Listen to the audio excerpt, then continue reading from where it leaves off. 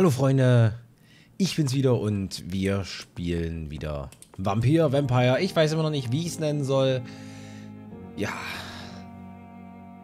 Wir haben noch den Quest, ein Verräter im Krankenhaus und ich würde sagen, wir reden deswegen direkt mit Edgar Swansea.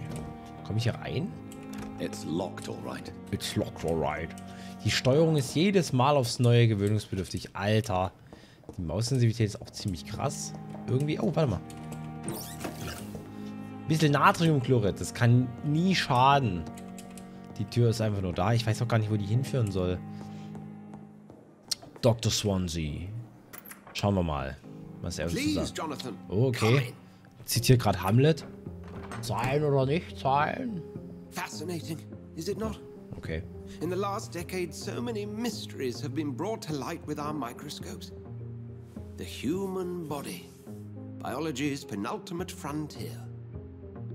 The more we explore its boundaries, the less we're able to trace a clear line between life and death. Der Schädel ist riesig im Vergleich zu ihm.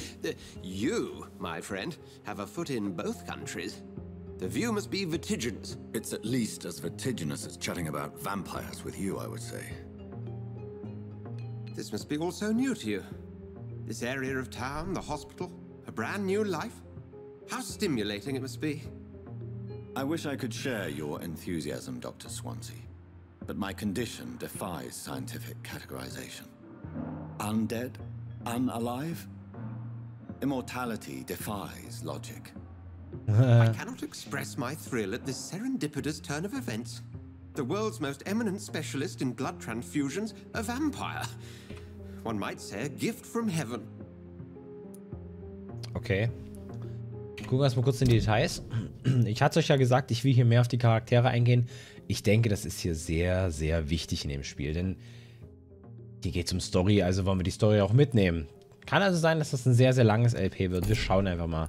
Viel haben wir über noch nicht rausfinden können. Keine Ahnung, ob das Leichen sind. Ihre Worte sind tröstlich. Das ist kein Geschenk. Ich werde ein Leben des Paradox kommen. Das klingt geil. There is an absurd poetry to my situation. Physician, heal thyself. Forgive me. Die Sprache ist genial. admirer of your work for a long time, and now you are so much more than a brilliant physician. And please, call me Edgar. Ah, ich denke dass er entschuldigen muss, ne? Also, er ist, er ist im Prinzip nur neugierig, was man verstehen kann aus einer rein wissenschaftlichen Sicht. Wir können für unsere Situation nichts dafür und wir sind doch kein Arschloch. There is no need to apologize, Edgar. Genau, und der You hilft offered uns me ja. sanctuary when I had none. Very well. I have a task for you, Jonathan. Something that will require all your newfound skills. Please, Okay, was hat er für uns? The Pembroke only survives through the generosity of our benefactors. Unfortunately, our main donor has found herself in a bit of a bind. Now, Okay. if you could help her out, A spokesman or politician is what you need. That's not my calling. And until I come to understand what has happened to me, I require discretion. discretion is in order, Jonathan. Lady Ashbury has recently received rather indelicate correspondence that, if revealed, would jeopardize her position. Jeopardize? And you would like me to eradicate this threat. By the stole, of course not. I would just like you to pay her a visit. Her ladyship is certainly near the tents outside, tending the sick. You can't miss her. Look for someone impossibly delicate. Accepted. I'll see what kind of trouble Lady Ashbury is in. Okay. Lady Ashbury. Oh, was haben wir hier? Brief von Rakesh Shadana. Oh, da kriegen wir vielleicht ein... Oh, oh, oh. Sehr geehrter Herr Dr. Swansea, sehr gerne kümmere ich mich um die provisorische Leichenhalle, sobald sie eröffnet ist. Wie ich Ihnen bereits mitgeteilt habe, war ich während des Krieges Arzt und werde meinem Land mit Freude erneut dienen. Natürlich ist es nicht dasselbe, ob man die Toten oder die Lebenden betreut, aber auch um unsere Verstorbenen muss man sich gut kümmern. Seien Sie versichert, dass ich mein Bestes geben werde, um diese neue Aufgabe bestmöglich zu verrichten. Bezüglich meiner Qualifikationen tut es mir leid, dass ich Ihnen nicht mehr als mein Ehrenwort geben kann. Ich schwöre Ihnen, dass mein Regiment mich während des Krieges zum Arzt ernannt hat und ich viele Leben gerettet habe.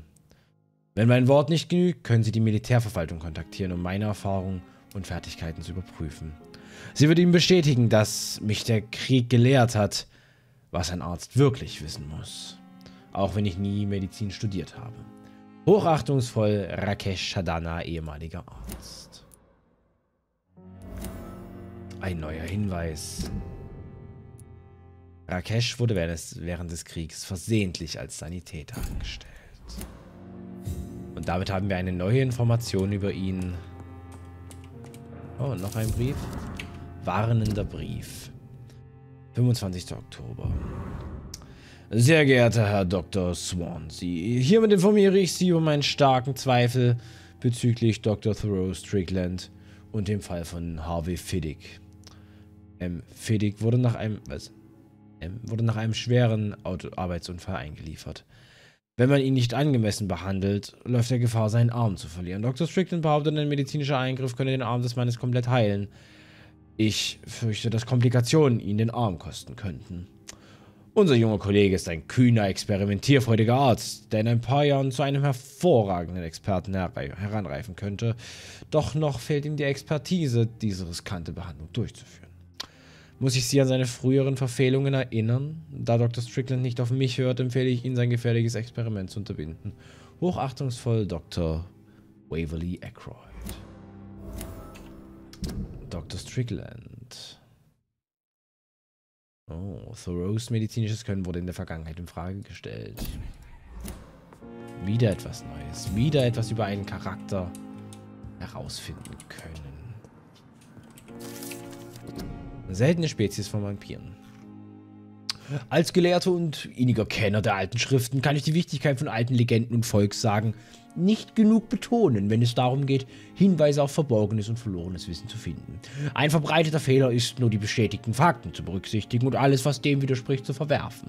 Zum Beispiel sollten wir nicht ausschließen, unentdeckte Vampirarten zu finden und überdenken, was wir als die Wahrheit über die verschiedenen Arten der Unsterblichen erachten, basierend auf unserem langen und über die Zeit zusammengetragenen Wissen. Wie viele Jahrhunderte lang haben wir geglaubt, dass Vampir nur ein regionaler Name für das sei, was wir Ekon nennen.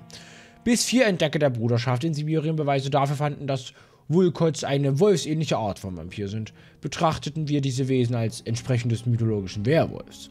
Nun wissen wir, dass dies nicht der Fall ist. Aber was ist mit dem Rest? Was ist mit den... Was? Rakshasa aus meinem Heimatland? Was ist mit dem chinesischen Yangshi oder dem Peuchen im Süden Chiles? Und vergessen wir unser schönes Großbritannien nicht. Was ist mit den Geschichten um die, über die Fledermausartige Frau, die manchmal um die St. James Church in Louth fliegend gesichtet wurde?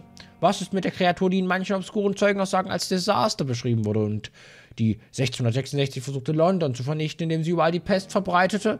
Was ist mit dem Nimrod, der mythischen Figur des rastlosen Vampirjägers, der manchmal vom früheren britischen Ekon als legendärer Weidmann beschrieben wurde, der sich nur vom Blut seiner Opfer ernährte und unbemerkt unter Sterblichen und Unsterblichen wandeln konnte? Meine Brüder, wenn wir auch nur für ein paar Augenblicke vergessen könnten, was wir vermeintlich schon wissen, würden wir uns niemals sicher sein, was wir noch finden werden. Aus Die Enthüllung der Nacht von Usher Tawdry, Primas von St. Paulus. Okay.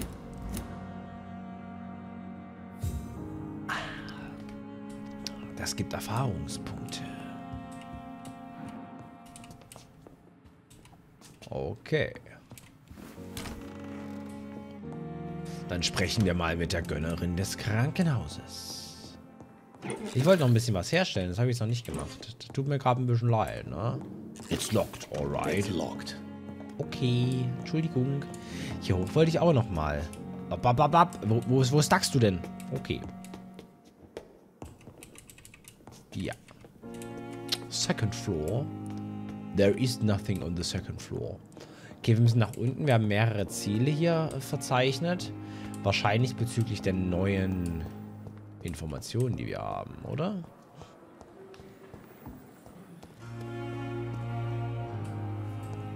Die Musik ist mega toll.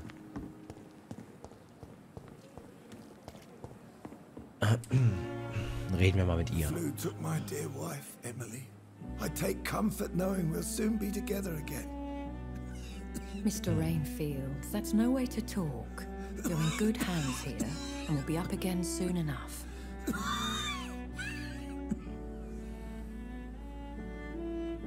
Now do me a kindness and get some sleep. I'll be back round later. Your words are kind, the blessings of an angel. You're the sweet, sweet lady of mercy. Die Lady der Barmherzigkeit. Oh, die sieht aus wie Evangeline. Lilly so ein bisschen. It's a pleasure to see you again. You seem surprised. Dr. Swansea has brought me up to speed concerning your recent appointment to Pembroke Hospital. You're a vamp. The lady who saved me that night. before vanishing into thin air. Ah. I remember you from the pub with Dr. Swansea. Ah. Indeed. Allow me to introduce myself formally this time. My name is Lady Ashbury. I remember you well, in spite of the brevity of our encounter.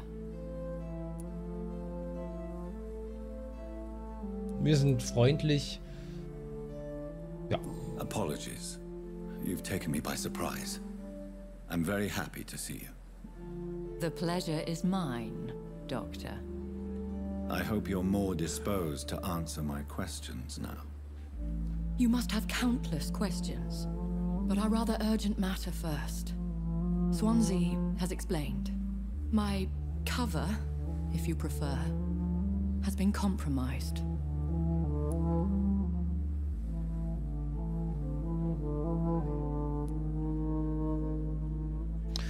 Patienten, die ihm Probleme bereitet haben. Ich habe Fragen zu Vampiren oder ich bin hier, um zu helfen. Wir sind hier, um zu helfen. Wir wollen ihr ja helfen. Macht den guten Dr. Eindruck. Swansea has commissioned me to be your agent in this matter. You could start by explaining what's amiss. These past insufferable weeks, I've been the victim of extortion. Oh. I've made a first payment, but the blackmailer grows greedy. I must refuse his most recent demands. Wir machen Story grabber. Please continue. Every detail is essential. I'm your man. My embarrassment in this matter is eclipsed only by my shame at having put the hospital at risk. The threat from our anonymous scoundrel is clear a list of dates. My visits coinciding with the dates of suspicious patient deaths due to massive blood loss. Oh.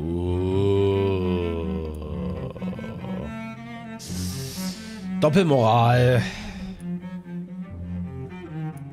Fragen wir oder, oder kümmern wir uns einfach drum? Wir fragen nach. Is it true? Now, aren't you the blunt one? Brauchen nur Informationen. Excuse my impertinence, Your Ladyship. This is not an interrogation. I assure you that this line of questioning is in your best interest. Gut gerettet, In denke ich. all honesty, I'm not simply a patron to the hospital. My visits serve a dual purpose. Dr. Swansea has been treating my condition with a revolutionary technique of blood transfusion. It seems you're a Ah. specialist in the domain. I'll take care of it. Do you know where I should start? If that was the case, I'd settle the matter myself. You could talk to our local gossip, Harriet Jones. Not a pin drops here without her hearing about it. I'll meet that woman now. My life, as others know, is in your hands, Dr. Reed. I'm sure of your discretion, but I do fear your powers of persuasion will be put to the test. When this is resolved, I'll be your obligé. I'll answer all questions in regards of your condition. Okay. Lucky to have Dr. Reed, you know. I met him in New York once. If only there were more of us, with less resignation and Wer more liegt da noch. Krams, was wir mitnehmen können? Was ist das denn? Ergotamin. Wir müssen da noch ein bisschen was herstellen, ne? Wir sollen ja Leute heilen. Eieiei. So richtig hinterher komme ich noch nicht ganz, was hier alles abläuft. Aber ich denke, das ist zu fassen. Opium! Geil! Erstmal zudröhnen, Alter. Erstmal zudröhnen. Oh, noch eine Kiste. Kleines Fläschchen. Ich bin ein kleines Fläschchen, yeah. Talk to Harriet. I wonder what your last thoughts would be, and disgust on every street corner. Natriumchlorid. Wir sammeln mal kurz ein bisschen, was hier auf den unteren Fluren... Wieso sehe ich denn das jetzt erst alles? Gab es ein Patch? Ich verpasst vorher? Oder war ich immens blind? Wahrscheinlich war ich eher immens blind. Das würde eher zu meiner allgemeinen Situation in diesem Spiel passen. Ach, da. Jetzt soll man erst mal sehen, Alter. down my boy.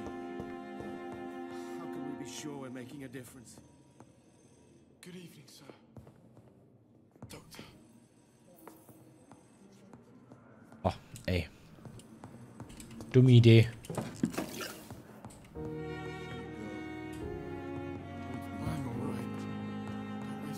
das ist mit Harvey müssen wir auch noch hinkriegen irgendwie. Okay, hier kommen wir her. Dann gehen wir jetzt mal zu Harriet.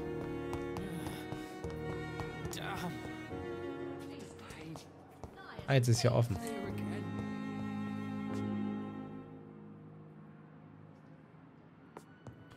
Jetzt können wir zu ihr gehen. Dann reden wir mit Harriet. What? What? Oh Gott. What is this? Who are you? Get out! There's no need for alarm, madam. I'm Dr. Reed, the new surgeon. Preposterous.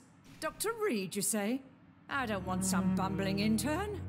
Where's Dr. Swansea? Oh Gott.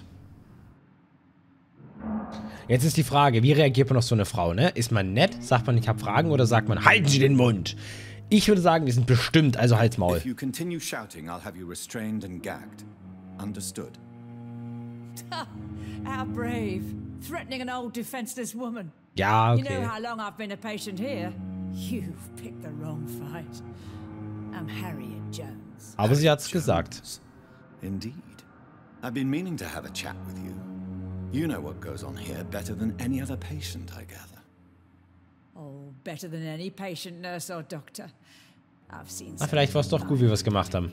I heard there have been some despicable goings on. Was there a case of blackmail? Blackmail? I. Wait. You're investigating something. This isn't a social call. One of those incompetent cunts slit a poor sod's brain. Es geht nicht um Behandlungsfehler. I assure you, madam, this is not an investigation into a possible medical error. Debauchery, then? Nurses Crane, Hawkins, Brannigans, whores, all of them. They can't keep their legs shut. Alter. Scratching slutty sores. Really? Alter. If you have irrefutable proof, I'll not have the staff behaving in such a manner here. This is your business, Doctor, not mine. Ja, ich weiß auch wer. Thank you for your time, Miss Jones. You've given me something to go on. See you on the next round. Okay. Okay, ich muss mit den ganzen Patienten reden. Was? Was? Royal Garden Hall Theater. Clyde Fitch präsentiert Doris Fletcher. Sappho. Okay. Kleine Beutel voller Ramsch. Was mache ich mit einem kleinen Beutel voller Ramsch? Wo, wo habe ich diesen kleinen Beutel voller Ramsch?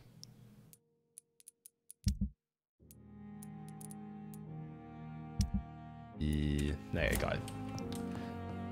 The patients and staff might know something. I'll start my investigation with them.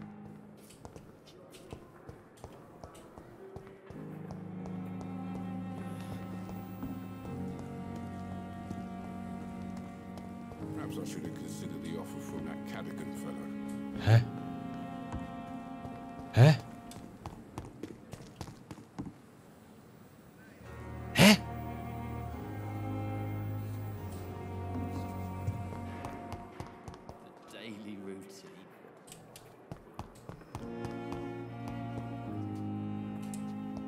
Äh, seht ihr das? Merk, äh? Bin nur ich hier gerade ein bisschen verwirrt? Codein?